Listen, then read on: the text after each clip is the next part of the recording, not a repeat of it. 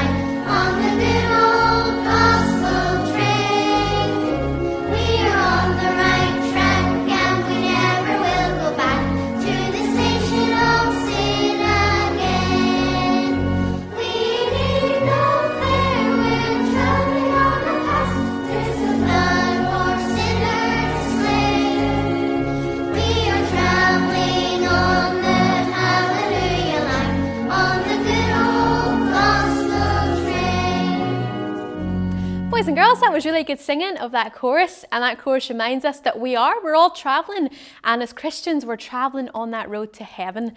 Now, we're going to come to our memory verse for today, boys and girls, and if you've got your Bibles with you at home, I want you to go grab them or get them. And our memory verse for today is found in the New Testament in one of the four Gospels. We've got the four Gospels, we've got Matthew, Mark, Luke, and John, and our memory verse today is found in the book of John. And if you turn up to John chapter 10, and if you look at verse 11, that is our memory verse for today. Now, this verse includes one of the I am sayings of Christ. Now, there's seven of these sayings where Christ tells us something about himself. Some of them are I am the bread of life. And the one we're going to be looking at today is I am the good shepherd. And in this verse, in John chapter 10, verse 11, we read the words, I am the good shepherd. The good shepherd giveth his life for the sheep. I am the good shepherd. The good shepherd giveth his life for the sheep. So, like we said, these are the sayings of Christ. So, the person who's speaking here in this verse is the Lord Jesus Christ. And he is saying, I am the good shepherd. And he is reminding us here through the picture of a shepherd. And if any of you have sheep, you know what how important a shepherd is and what a job a shepherd has looking after and caring for the sheep. And in the same way as Christians Christ is our good shepherd. And we're told here in the rest of that verse that he giveth his life for the sheep. And indeed the Lord Jesus Christ did give his life. He died on the cross for his sheep so that we so that you and I can be saved from our sins. He was willing to die on the cross so we can be saved. And just in the same way like a shepherd is willing to give his life to save a sheep from perhaps something that might want to come and attack the sheep. In the same way the Lord Jesus Christ he did he gave his life so that the sheep so that we as Christians can be saved. So, boys and girls, we're going to try to learn this verse all together. So, we're going to say it through a couple of time each, times each, and then we're going to take out a few words. We're going to say it all together after two with the Bible says. One, 2. The Bible says in John chapter 10, verse 11, I am the good shepherd. The good shepherd giveth his life for the sheep. All right, that wasn't too bad. Some of you might know this verse already, but I still want you to try your very best as we try to learn it, okay? So, again, as best as you can, after two, one, two. The Bible says in John chapter 10, verse 11, I am the good shepherd. The good shepherd giveth his life for the sheep. Well done, that wasn't too bad. Okay, let's have another wee test at it. We'll see how we get on. We'll take away a few words, all right? So I want you to see how well you can remember the words we've left out. Okay, so after two, try your very best. One, 2. The Bible says in John chapter 10, verse 11, I am the good, the good giveth his life for the well done, did you get them all? So those two, three words we left out there were I am the good shepherd, and the good shepherd giveth his life for the sheep. As we That's a bit too easy. Okay, we'll do it a wee bit different this time. Okay, just one more time. We'll leave out a few more words. All right, so after two, one, two. The Bible says in John chapter 10, verse 11, I am the shepherd, the good giveth his for the well done, did you get all those? Good job if you did. Give yourselves a good pat in the back for that one. So, again, the Bible says in John chapter 10, verse 11, I am the good shepherd. The good shepherd giveth his life for the sheep. Now, I want you to remember that memory verse, especially for our story we're going to be looking at today. We're going to be looking all about sheep and all about shepherds in our story today. So, I want you to remember that memory verse, keep it in your head, and most importantly, keep it in your heart. And if you're not saved, listening in and you're not saved yet, you remember that Christ, He gave His life for you so that you can be saved. And all you have to do, boys and girls, is come and ask Him into your heart to take away your sins. Okay, before we come to our story now, boys and girls, we're going to come to our second chorus for today. Now, we sang this chorus a few weeks back, and it was maybe a new chorus to some of you, but I thought again we would try to sing it again this week, and it really ties in with our story, so I thought, why not? We're going to sing that chorus Jesus saves, Jesus saves, what a wonderful Saviour. And it talks in there about how He is the good shepherd who guides the sheep. So we're going to sing that chorus together. Hopefully, you remember it from the last time we were singing it, and I want you to try your very best with this one Jesus saves, Jesus saves. What a wonderful Saviour. Jesus saves, Jesus saves. What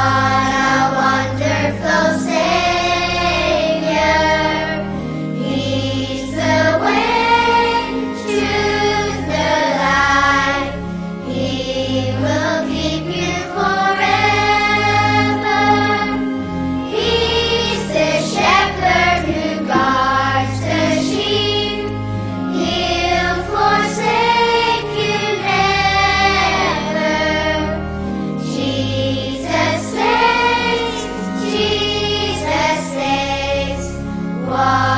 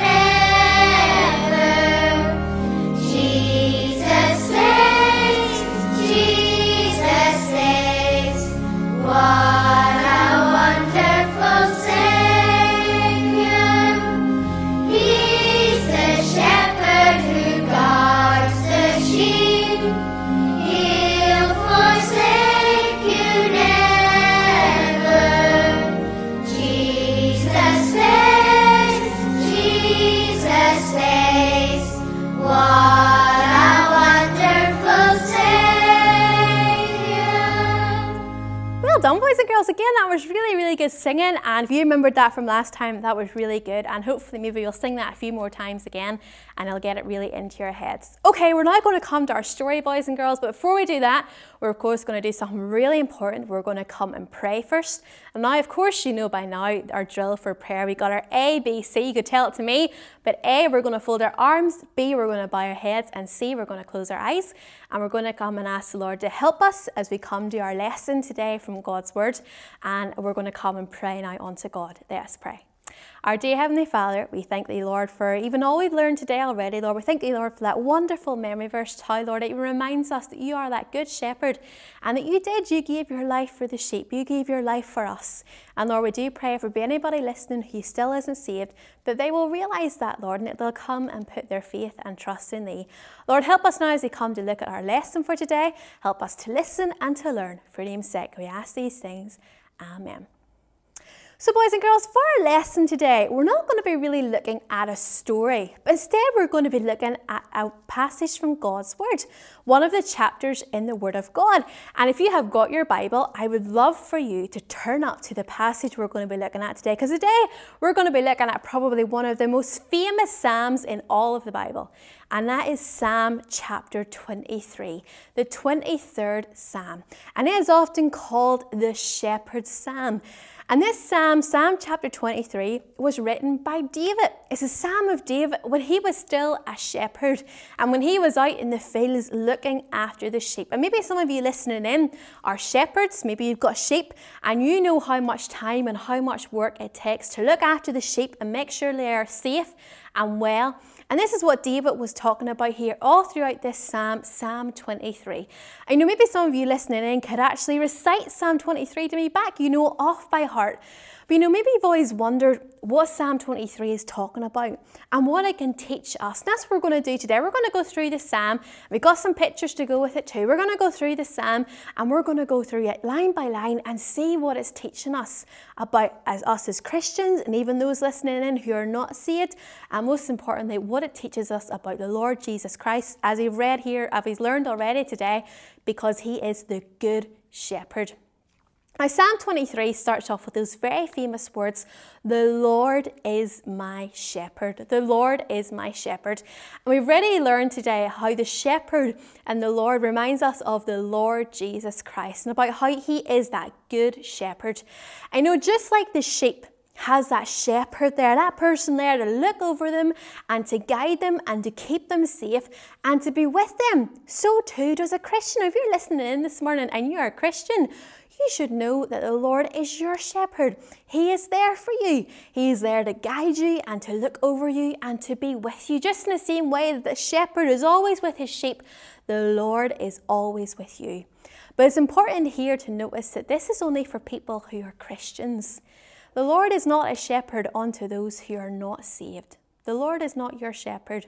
But the thing is, you need to come and you need to ask Him into your heart. Because, like we learn in verse, He is the good shepherd. He gave His life for you. And you need to come, you need to ask Him into your heart to take away your sins. And then He will be your shepherd. So we learn in the very first line there, the Lord is my shepherd. And in the same way, like we said, like the shepherd is there to look over and to guide and to be with the sheep.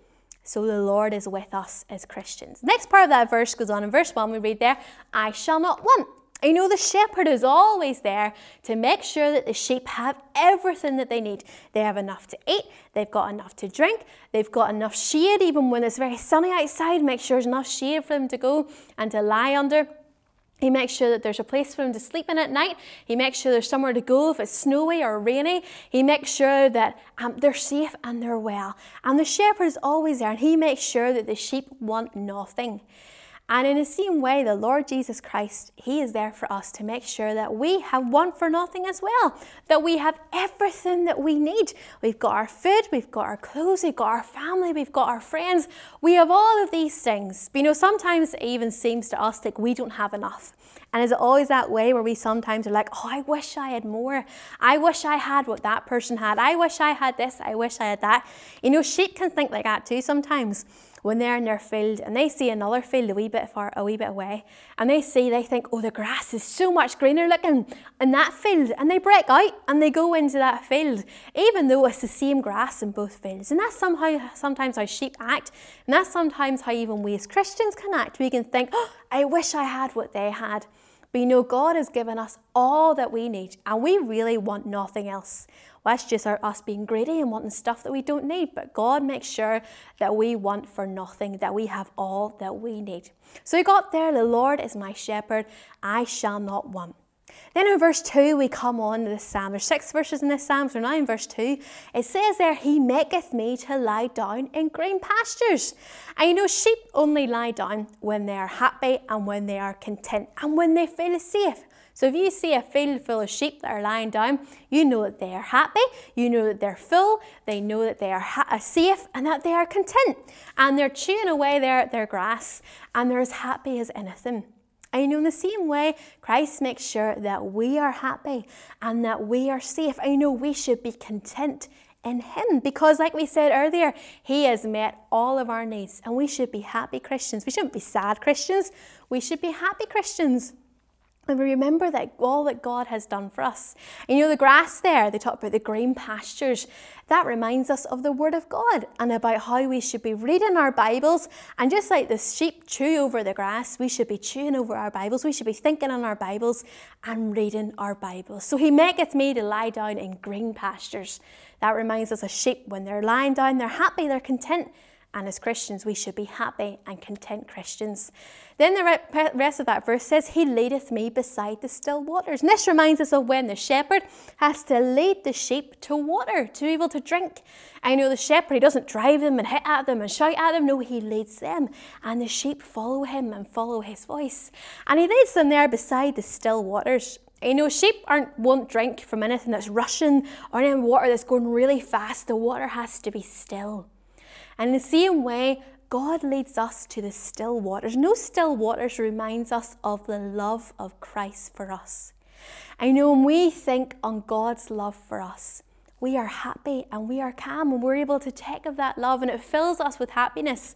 I know the same way that the sheep go there and the water is still and calm and they're able to drink from the water. So we're to go and we think upon the love of Christ for us. And it should just fill us up with happiness when we think that Christ loved us so much that he died on the cross to take away our sins. So we're now on to verse 3. We're getting there. So, verse 3, it says there, He restoreth my soul. And You know, that's a really important job that the shepherd has. He's there to make sure that the sheep don't get sick. And he does everything that he can to make sure the sheep are safe and healthy and well. And he will make sure that there's nothing lying about that the sheep might trip over. Sheep are quite um, clumsy animals, they might trip over very easily. So he makes sure there's nothing there to trip the sheep up. He makes sure that all of the things that might cause them harm is taken away. And he's always looking carefully to make sure that none of them are limping or none of them got any scratches or bruises or cuts or anything like that there. And if one of them does get sick, what does he do? Does he just leave them, leave them to get sick and more sick? No, he looks after them. He takes them and he binds up any wounds he might have. He maybe runs, rubs ointment on any cuts or grazes they might have. Or if they um, hurt their legs, he binds them up and makes sure that they are safe and that they are healthy. And he gives them medicine to help them. You know, in the same way, the Lord Jesus Christ is there to restore us. He restoreth my soul. When we talk about restoring something, that means you kind of fix it. If you've got a broken car, if you've got a toy car, something like that there, you need to restore it, you bring it back um, to the way it was before. You fix it so it can work again. In the same way, the Lord is there to restore us when we sin against Him. I know sin in the Bible is often described as a sickness or a disease. You know, even as Christians, we can sin against God. We still sin. And I got saved, that was something I really struggled with because I was still sinning against God. Now, it's not that I wanted to sin, but it was very easy to sin. And I used to think, well, does that mean I'm not saved anymore because I sinned against God? But you know, that's not what it is. Because as Christians, we do still sin. It doesn't mean we're not saved anymore, but we can sin against God. But when we do sin, we are to go back to Him and tell Him we're sorry for our sins. And He will restore us and bring Him back onto ourselves, Himself, and He will forgive our sins. So maybe you're a Christian and maybe that's something that you're worried about. You worry about the sin that you still do even after you're saved. Well, the Lord restores your soul too if you come and you ask Him for forgiveness. So, just in the same way that the shepherd is there to make sure that the sheep don't get sick, and if they do get sick, He helps them. So the Lord is there to make sure, even when we sin against Him, if we come and ask Him for forgiveness, He will forgive us. Now, the rest of that verse says, He leadeth me in the paths of righteousness for His name's sake. There's quite a lot of big words in that thing, in that phrase. But the paths of righteousness, that just means righteousness means the right way. I know the shepherd. He will always make sure that the sheep are led in the right way, on the good path. If he is leading them from one field to another field, he's not going to take them down a dangerous road where they might fall off or where the path is all uneven or it might be big um, rocks or stones that they can trip over or where there might be dangers all around. No, he leads them on a good path, a path that is even, a path that is good for them, where there's no stones or no rocks to trip them up. He leads them on a good path. And in the same way, Christ, He will always lead us in the right way, the paths of righteousness, the right way. And He will lead us in a way that is right and good. And He will never lead us into sin. And that's why it's so important that we follow Christ. And we ask Him every day, Christ, what would you have me to do today? Where do you want me to go? And we know just in the same way as the shepherd leads the sheep in the right way and the good way, Christ will always lead us in the right and good way. Okay, we're now on to verse 4. We're getting there, we're nearly at the end. So the verse 4 tells us, Yea, though I walk through the valley of the shadow of death, I will fear no evil. And you know the sheep, they fear no evil. They never worry when the shepherd is near, for they know he will protect them. And as our memory verse taught us today, as the good shepherd giveth his life for the sheep, the sheep know that their shepherd would give their, his life for them, that he will always protect them.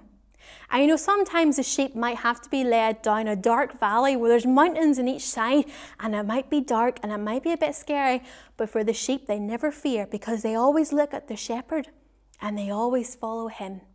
And you know, this verse here, this part of this verse is talking about death. I know death for many people is a scary thing, and they don't like thinking about dying, and they don't like thinking about death. And before I get saved, boys and girls, I was one of those people. I was petrified to go to sleep at night in case I wouldn't wake up the next morning, in case I died in my sleep, because I knew where I would have went if I had died in my sleep. I would have went to hell, and that was so scary to me. And maybe you're listening in, and maybe you're scared about that too. Maybe you know deep down that you're not saved. And that if you were to die, and I know it's not nice to think about, but if you were to die in your sin, you know that you would end up in hell. But you know, this verse tells us, Yea, though walk through the valley of the shadow of death, I will fear no evil. I know as Christians, we should not be scared of death. Because we know that when we die, we will go to heaven to be with God forever, to be with our good shepherd forever. And that should hold no fear for us, and we should not be scared of death. You know, maybe you're not saved. Maybe you do fear death. Well, when you come and you ask the Lord into your heart, that fear will disappear because you know that you're saved, you have your sins washed away, and no matter what happens, you will go to heaven and you'll be with God, your good shepherd, forever. Now, the rest of that verse in verse 4, it tells us, For thou art with me and again, the shepherd's always with the sheep. He's with the sheep 24 7. The shepherd in Bible times used to sleep out with the sheep and protect them.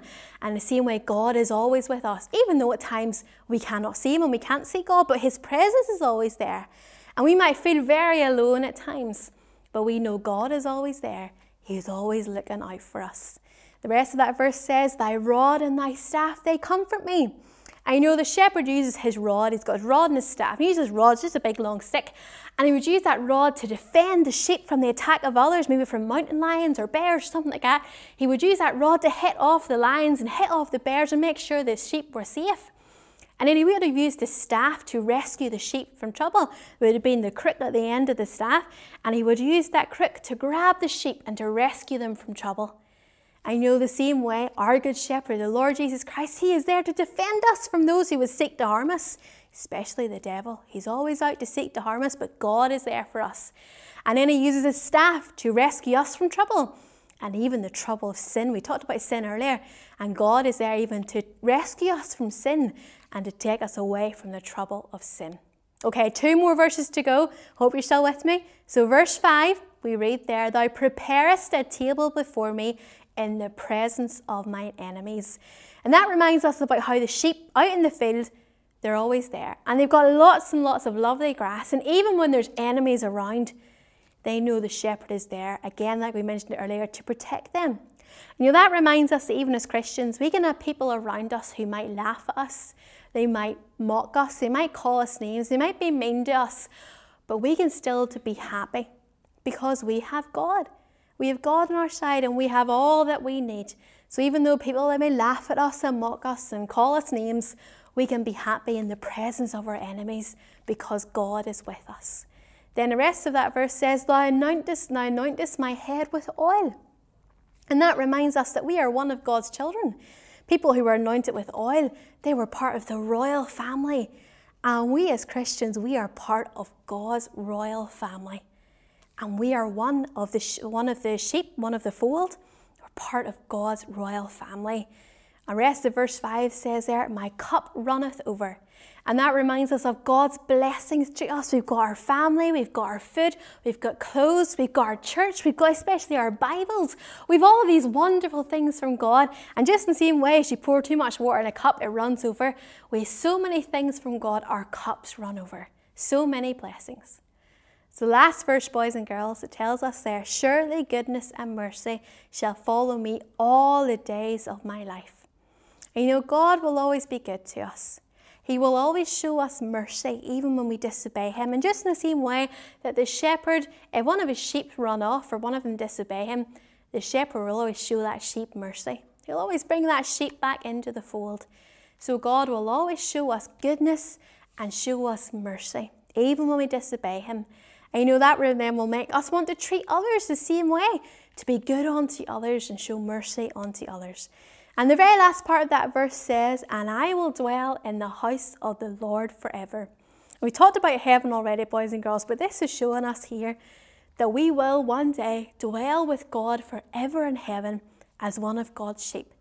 And we will spend forever in heaven with our great shepherd. We'll dwell in God's house forever. And that's sometimes hard for us to understand, but it's a wonderful thing that we will dwell in God's house in heaven forever with Him because He is our good shepherd and we are one of His sheep. So, boys and girls, I hope you have enjoyed as we've looked down through Psalm 23. And the next time you go to maybe learn it off by heart, or maybe you go and read it through it, you'll understand more of what this psalm is teaching us, especially for those listening in who are Christians. What it teaches us about our walk and our relationship with our good shepherd, the Lord Jesus Christ. And even those of you who are listening in and you're not saved, that you'll realize that you need to come and ask the Lord into your heart because He gave His life for you. He died on the cross of Calvary so that you might be saved. So we're going to finish off now, boys and girls. We word a prayer. So again, fold your arms by your heads, close your eyes, and come and we'll ask the Lord to help us to remember everything that we've learned today. Let's pray. Our dear Heavenly Father, we thank you, Lord, for this wonderful psalm that we have learned today and we've read through today. We thank you, Lord, for all the great lessons, Lord, that are even in those six verses. And we do pray, Lord, that you'd help us remember those things that we have learned today. So be with us now, we pray. For name's sake, we ask these things. Amen. Well, boys and girls, that's us all finished for today. We want to say a big thank you for joining with us, and we really hope you had a really good time as we sang our choruses and learnt our memory verse and looked at our story for today. Now, remember that there will be a worksheet that will be available, it'll be up on Facebook for you to download and fill out. And we want to see how much of that you can do on our story about Psalm 23, and we hope you have a really good time doing out that worksheet. Now, also remember that if you have missed any of the Bible corners that we have done already, you can go and watch them on Facebook or on YouTube, and we hope you have a good time even watching those Bible corners that you might have missed. So until next time, boys and girls, again, if you have any questions for us, if you want to get in touch with us about anything, leave us a wee comment below or send us a message on Messenger, and we'll do our best to get back to you, especially if you're worried about your salvation. Please get in touch with us, and we will even show you from God's Word how you can be saved. So until next time, boys and girls, from all the team here at FPC Kids, goodbye and God bless.